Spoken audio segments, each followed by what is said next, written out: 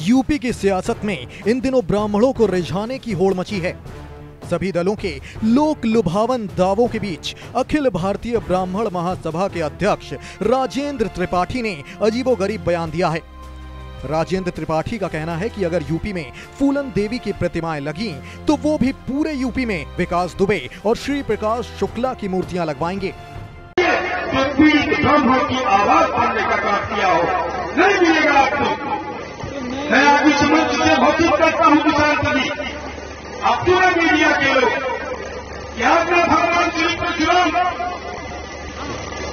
के मुख का शिलान्यास किया हूँ, आज मैं घोषित करता हूँ कि उत्तर प्रदेश में आने वाले दिनों में मैं श्री प्रकाश शुक्ला और विकास दुबे की भी मूर्ति लगवाने का काम करूँगा।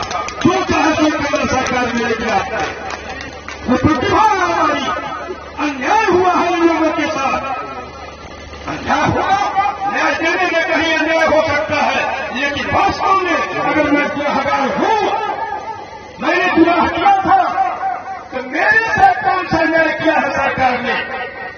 दोनों को मारने का काम किया? ये अन्याय है सरकार का मैं गुनाहगार था तो न्यायालय हमको सजा देती कौन कौन होते हो सजा देने वाले।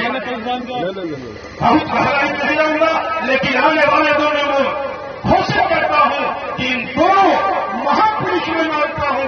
समाज का इन दोनों महापुरुषों की प्रतिमा लगाने का काम करूँगा।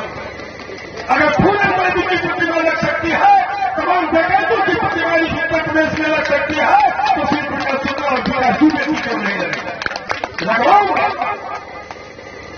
सरकार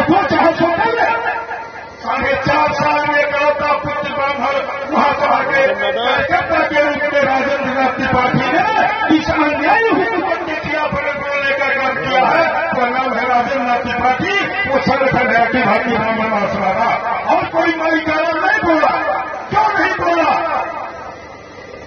नहीं बोला, मैं जानना चाहता हूँ, ये वक्त है पूछने का, हमारे समाज के लोग हज़ार बाईस छल का शिकार होंगे, उनको धोखे से चला जाएगा।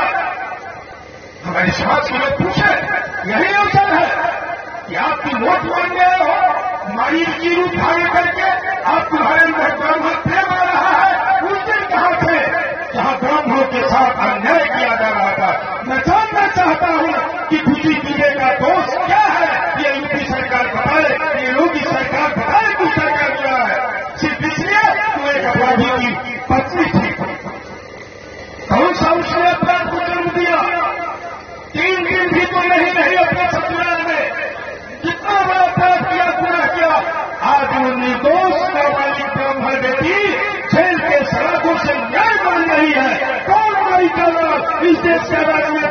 या बिहार संसद मंत्री विधायक सरकार।